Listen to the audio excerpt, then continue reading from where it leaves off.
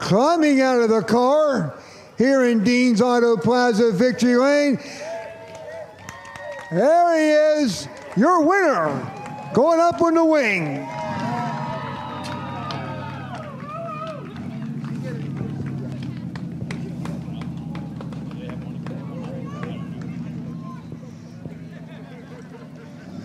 Right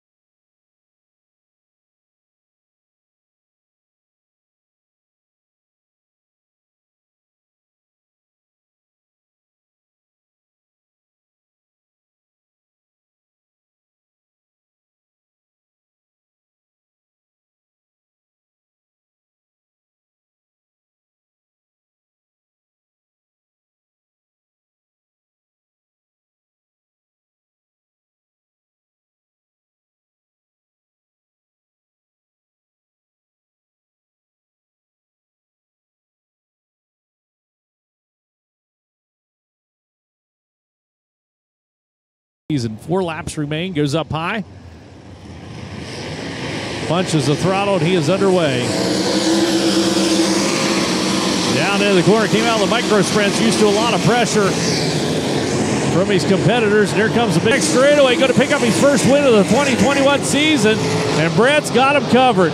Work for that number four spot to the top spot, and he's going to win on a Fallen Firefighters night here at Lincoln Speedway. Strickler is going to finish out second, but it's going to be Steve over Cody Hartloff. Adrian Schaefer